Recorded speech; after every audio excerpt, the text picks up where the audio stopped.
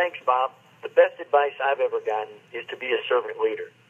I think when we look at what kind of leader we would all like to follow, it would be one that is about serving us rather than us serving him. Jesus was the best role model and an example of this because he came to serve rather than be served. So one thing I try to do is follow that advice and be a servant leader. And that's the best advice I've ever gotten.